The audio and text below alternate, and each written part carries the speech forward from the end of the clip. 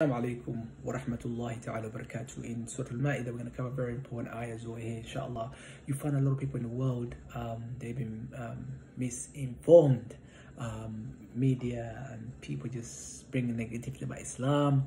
And they, there's others that actually know this, and subhanAllah, they respect Islam so much highly. Subhanallah, Allah says about, you know, uh, about terrorism does not it does not exist in our religion at all. Rather, we are the savior. Allah says, من أجل ذلك كتبنا على بني إسرائيل أنه من قتل نفسا بغير نفس أو فساد في الأرض فكأنما قتل الناس جميعا ومن أحياها فكأنما أحيا الناس جميعا is as if you have saved if you save one life it's as if you save the whole nation and as if you kill one life it's if you killed the whole nation. Subhanallah our religion teaches to save each other